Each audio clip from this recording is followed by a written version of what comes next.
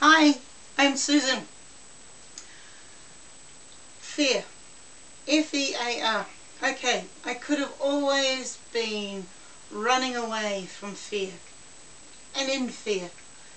But somewhere along the lines, a person has got to stop, take stock and go, what is it I'm actually trying to not do?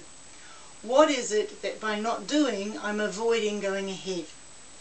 And mine, would you believe it or not, for a person who's been here a long time on the internet, is list building. You know, when you join Facebook or Google or, or something and you like, share, comment, they all go to an email, yours. And there's lots and lots of lists there.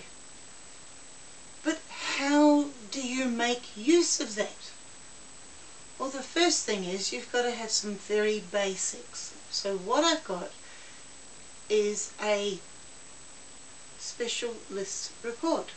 And I'll give that to you at the end of a five-day course. Very basics list building course. Who, what, when, where, why, and what the heck are you doing? Simple.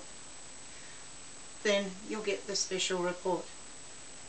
What I would like you to do also is participate. I'll send you to different places and ask you to make a comment, have a like, do a task.